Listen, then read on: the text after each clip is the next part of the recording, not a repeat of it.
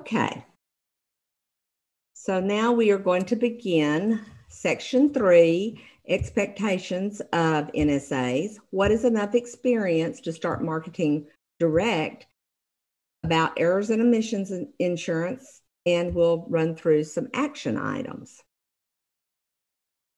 Okay, it's it's important to be credentialed before seeking work because I mentioned earlier that the Consumer Financial Protection Bureau came through and created a mandate that everyone had to be in compliance.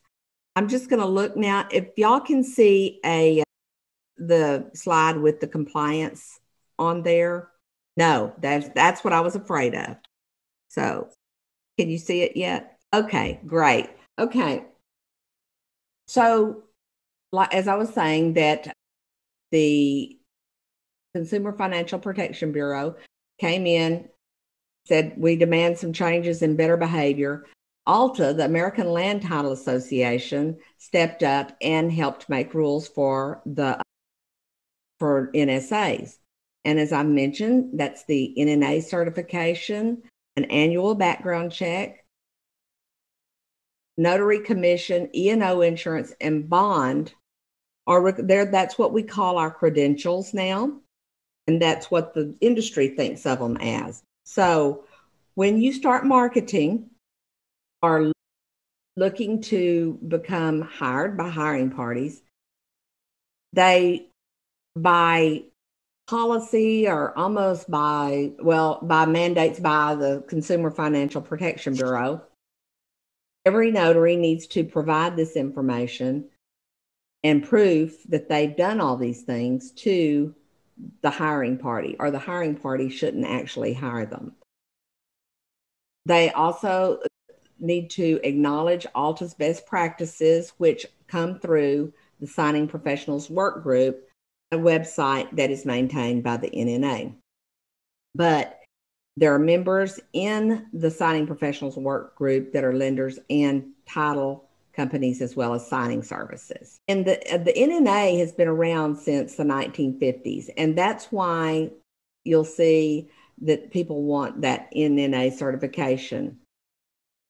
Their material is good, it's solid and sound, but I always say, you know, you've got it, you should take their training if you can, but for some reason it doesn't really translate into the nuts and bolts like maybe other courses do. It's it's a good course and it teaches you the rules of how to behave, how to that they've all agreed under ALTA to do things. But anyway, it's just kind of a thing that you you go through that and then you get the hands-on experience of people through other courses that have actually performed and done your signing agent work.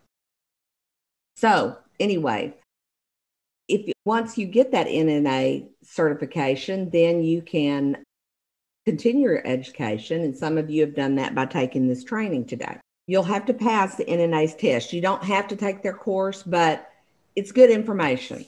But let me give you a little tip here. All of that information is basically in these. Y'all do have these for sure in your handout. You'll go to the signing professional work group, download the code of conduct, go down and go and download the signing professional signing guidelines. You but what you want to do is be knowledgeable before you get started and crawl before you walk and walk before you run. Learn while working for signing services.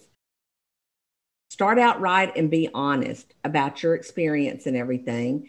And just you, your full knowledge doesn't come around until you're able to actually put your hands on it and practice it.